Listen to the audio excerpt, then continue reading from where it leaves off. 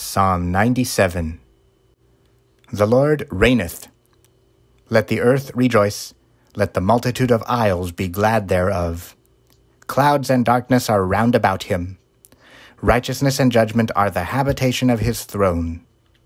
A fire goeth before him, and burneth up his enemies round about. His lightnings enlighten the world. The earth saw and trembled.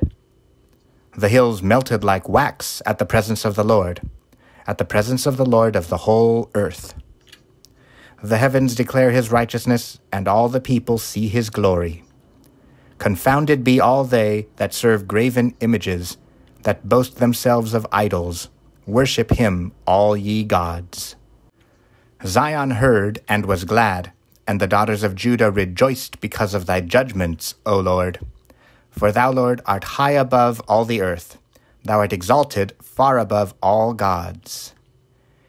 Ye that love the Lord, hate evil. He preserveth the souls of his saints, he delivereth them out of the hand of the wicked. Light is sown for the righteous, and gladness for the upright in heart. Rejoice in the Lord, ye righteous, and give thanks at the remembrance of his holiness.